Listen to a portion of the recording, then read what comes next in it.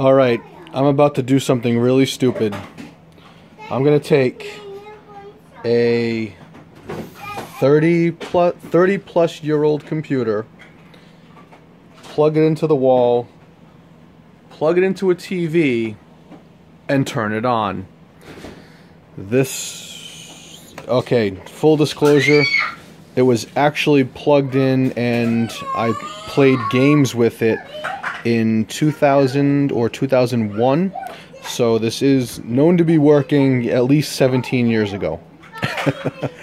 but um, we'll, uh, it's been sitting up in the attic for a while, and it took me a while to figure out how to um, get the modulator to. Uh, well, I don't have the remote for the TV, so to get the modulator to actually work with the TV, and that is the original TI modulator. The TV is set for channel 3 on the antenna mode. And now, we're going to turn the power switch on and see what happens. The light is lit, and the sc- ooh, there we go. Texas Instruments home computer ready. Press any key to begin. Copyright 1981, Texas Instruments. I'm looking for the any key. Let's try this one. Press 1 for TI Basic. TI Basic ready. Uh, 10. Print. Uh, is there a backspace?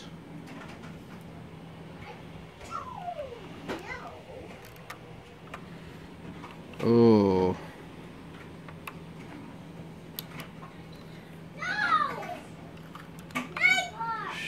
Ah. Wait. Okay, no backspace. No, yeah, I know, bad name, I know. No backspace. Okay, let's try this again. Oh.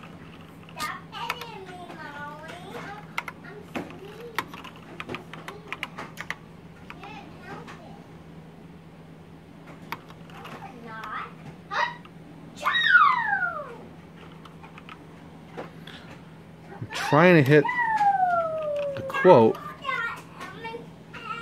and it's not giving me a quotation mark. So I'm trying to remember TI basic. I do not oh you know what? Maybe it's the function key. Function. Okay not shift. Function.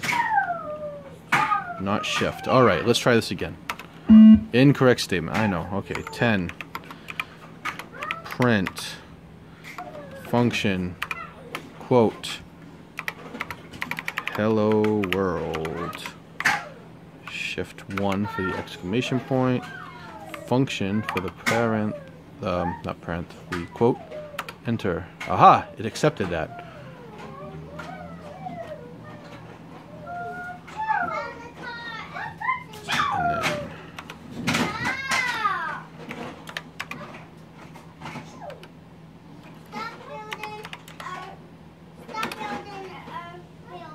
Look at that.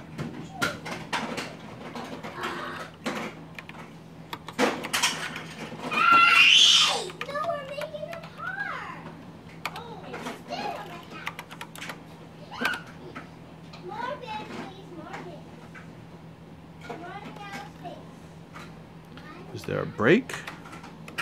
Control C doesn't break. Function C doesn't break. Okay. Uh, quit. There we go. Ooh. Whoa, that was a soft reboot. Okay. One for TI Basic.